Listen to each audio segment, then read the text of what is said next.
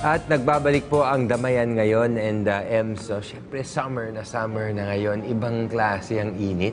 Oo, kaya akmang-akma na panoorin po natin itong ah, feature na ito. Ang ating mga mata ay tinuturing na salamin ng ating kaluluwa. Isa rin ito sa pinakamahalagang bahagi ng katawan ng isang tao, kung kaya't pwede itong magkasakit at mapinsala kung tayo ay magpapabaya. Panahon na ng tag-init, kaya nauuso na naman ang mga sakit sa mata. Una ay dahil mas laganap at talamak ang mga mikrobyo sa panahong ito. Ang matagalang pagkababad sa UV rays ng ating mata ay maaaring humantong sa iritasyon hanggang sa tuluyang pagkasira nito. Ingatan ang paningin. Handog ng damayan ngayon sa hapong ito ang mga impormasyon kung paano tayo makakaiwas mula sa mga sakit sa mata na posible nating makuha ngayong tag-init. Ayan, okay, well, nako, eksakto itong ating pag-uusapan ngayon dahil nga panahon ng tag-init. Napanood natin na bahagya dito sa teaser o yung ah, feature na ating panood kung ano ba yung nagiging epekto ng matinding init sa ating, mga, mata. And uh, our eyes is, of course, sabi nga nila, salamin ng kaluluwa, the windows of the soul, di ba? So, uh, uh, to tell us more about uh, how to take good care of our eyes and what we should, uh, what what we should uh, do during the hot summer months, uh, let's uh, introduce uh, Mr. Earl Hayona, Sales and Marketing Manager, IMO Philippines. At ang pag-uusapan nga natin ay mga sakit sa mata na dulot ng matinding init ng panahon. Good afternoon. Good afternoon, Emily. Good afternoon, Will. Yes, Thank uh, you for uh, having us Yes, here. and uh, before we start, congratulations, uh, Earl. Also, one of the most One of the empowered most empowered men. Congratulations, Yes, Oo. to all of us. Ayun. Earl, Thank let's, you. uh, let's start by uh, introducing the eye as an organ. This is uh, one of the most neglected and one of Actually. the most sensitive organs of the body, tama? Actually, the eyes is the most important part of the body, no? Pagising mo pa lang, ito na yung ginagamit mo eh. Pero this is the most neglect, neglected part. Um, most of the time, um, hindi natin ito pinapansin. So, wala nga tayong ginagawang maintenance for the eyes eh. Not even in our diet, we don't even think of the food that is important for the eyes. We do not uh, put anything in our eyes at all. So this is the reason why um, we put up a uh, national eye care awareness campaign so that we have um, an outreach on, or, or call out to all the Filipinos to take care of their eyes. Oh, that's very important, ano? Ah, okay. Ah, ah, kagaya ngayon, well, no, panahon ng tag-init. Ano ba yung mga karaniwang sakit sa mata na maaaring ah, ma-atake sa atin, lalo na ngayon ng panahon ng tag-init? Yes, Emily, we have five most common signs of eye irritation. Eh. We have the red eyes, sore eyes, itchy eyes, watery eyes, and dry eyes.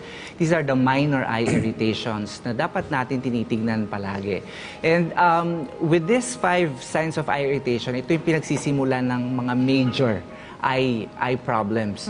So dapat we prevent this one to becoming more uh, lumala, di ba? So, sabi nga nila, prevention is better than cure. Yes, in anything. And In that's a general, general statement. Yes. Yeah, oo. And, Ah, and this is where IMO comes because uh, we prevent uh, and relieves the minor eye irritations. Ngayong summer, palagi tayo nagkakaroon ng red eyes, itchy eyes, and sore eyes, no? And takot ako dyan sa Yes, sore eyes. Totoo. And how can we tell if our eyes are not in good health and wi- whe- whether they're in good health or not? Let's say wala ka pang sore eyes, wala ka pang ah, ah, yung talagang sasabihin natin malalang sakit. How will you know if your eyes are healthy? In, in the Filipino culture, hindi tayo pumupunta sa doktor unless we see that our eyes are swollen and red. Already, no? Hindi tayo pupunta sa doctors. Um, it's very it's very uh, good that we look at the mirror and we have to look at our eyes. As, di ba meron tayong white white uh, area sa eyes natin. Dapat clear and wala siyang makikitang streaks of red. Uh, that's when, when can you say that it's healthy. And when you uh, uh, put your eyelids down, it's not red and sore.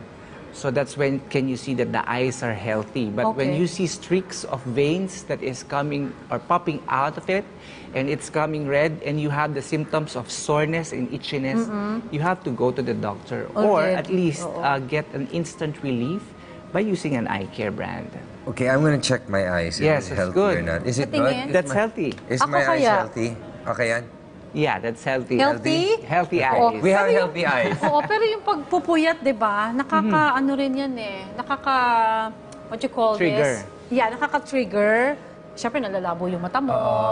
Pag parati kang puyat, You masama rin yun, di ba? Because your eyes become tired, no? And uh, what we want naman for those who have tired eyes, we have the red, uh, the blue variant, which is the natural moisturizer that relieves naman the dryness of Can the eyes. can we use this also on people who use contact lenses? Like ako kasi my grades are very high, but I don't like wearing glasses because I'm also very active, so Yeah. I run and stuff. So para bang ah, okay lang ba to use to use these drops if Alright. you're wearing contacts? For, for contact lenses users, hindi po siya pwedeng gamitin with the contact lens. You have to take off the contact Tatanggalin lens muna. before you put IMO. But, but it's okay lang. But it's okay. And then you Okay. can put the IMO back, uh, the, the, uh, the contact lens back once after you, two to three minutes that the settle na yung IMO sa mata. Okay, I see. So you cannot put it on with the yes, contact because lens. it has a, an uh, interaction with the lens.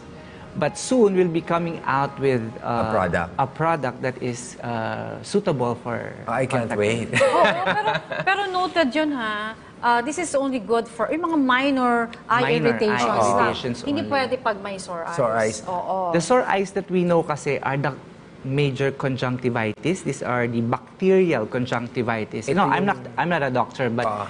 Uh, this, these are the ones that needs uh, Steroids na. no, steroids and antibiotics. Antibiotics, That kailangan okay. talagang tignan na siya ng mga Oo. ophthalmologists. So these Okay. are just the normal everyday yung para bang you should carry it with you para Yes. lang to make sure that your eyes are taken care of. Yeah, Konting like- lubrication, konting ganon. Okay. Correct. Like our skin, no? Hmm. Daily routine natin, di ba we put lotion and all that stuff. Mhm, And kapag And if we go out, sunblock, mm, we go out, we need sunblock for the skin. So we have to take care of our, our eyes. Now, we, we need to wear shades if we go out, no? And we need goggles if we swim. We need helmets if we drive the motorcycles.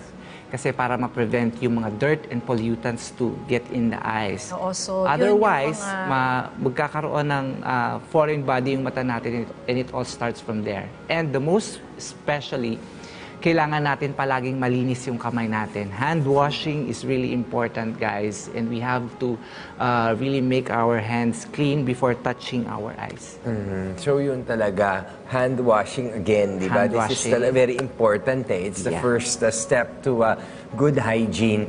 Doc, ito naman ano, um, yung para bang, what about yung ibang mga concerns like cataracts and stuff like that? Hindi na ito sakop ng, uh, ng normal care. So ibig sabihin kung magkaroon ka nito, it doesn't mean that pabaya ka, di ba? But this No. is a totally different thing. Totally different thing. Okay. Iba na yung ah, etymology niya. So, Oo, tama, tama. the doctor. Oo. Well, concern lang ako dahil napapanahon. So ano pa yung mga dapat nating isa-isip o mga bagay na o precaution, precautionary measures na dapat nating Oh, gawin? lalo na if para ano, maproteksyonan yung ating Lalo na, di ba, during the summer, people are going to the beach. People are going to the uh, swimming pools. Minsan, public swimming pools. Nakita ko nga sa ano, 5% water, 20% chlorine, and then the rest urine eh. Di ba ganon? So, hindi. Totoo yun. That's Kasi right, that's pang public pool. So, Ayan, yeah, oh. this is, Nakikita you know, natin this sa is, screen. syempre, lalo na kung maraming bata sa swimming pool, hindi mo naman pwedeng sabihin ay wag umihi sa loob ng pool, di ba?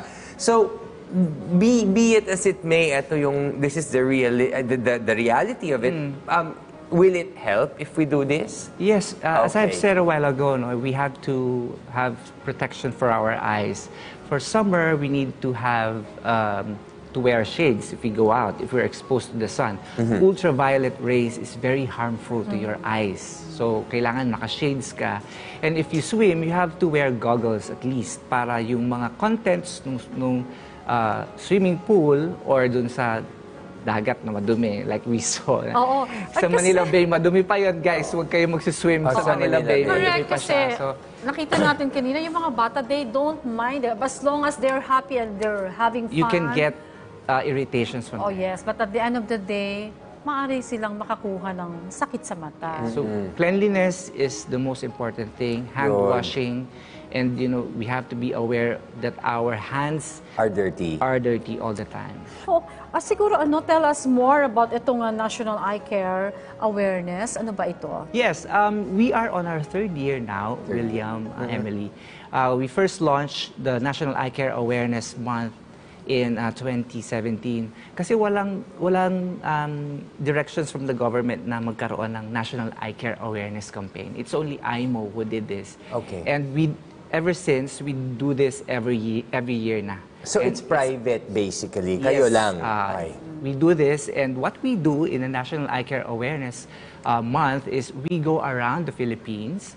Uh, we we do uh, free eye checkup, and then uh, we do eye education, which is very important. uh, How to take care of your eyes, healthy tips on taking care of your eyes, and then um, we do um, feeding programs, and sometimes um, we, we give out some uh, stuffs giveaway and free IMO to, to our attendees. So uh, for the past two years, maybe we have reached more than uh, 500,000 people max uh, because of the National Eye Care Awareness Campaign, and we're, we're trying to duplicate triplicate that on, on, on this year so that uh, mas maraming magkaroon ng uh, education about eye care.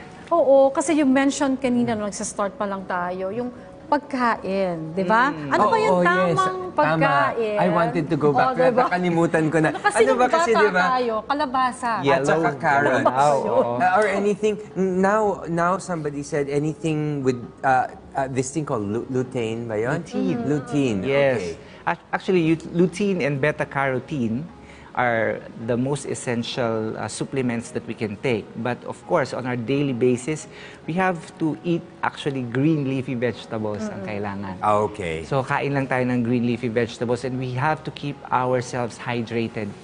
Dehydration is another cause of eye irritations if we the eyes know. are moist. So Yes. parang if you get dry, it means it's not good. You Correct. should always have a certain degree of hydration. Oo, tsaka Correct. siguro paalala kapag, kapag nagsusuot tayo ng contact lens, huwag kakalimutang tatanggalin. Kasi pag Bago nakatulog matulog. ka, Yes. di ba? You take it off. Nai-irritate talaga yung We mata. have I'm to take using it off. daily disposables ngayon, which is a little bit more hygienic than ano, di ba? Yes. You put it on and then you remove it. Okay, Yes, that's okay. right. Ah, sige po, anong Ayan. huling mensahe nyo? Yes, I, I want to uh, have a call out to all the Filipino people, mga kababayan. Um, we will be launching the National Eye Care Awareness Month on its third year on uh, the third week of uh, May, going to June. So uh, we're, we are on our first leg of preparations. We'll be going nationwide, uh, key cities in Metro Manila, in Metro Cebu, and of course in Mindanao.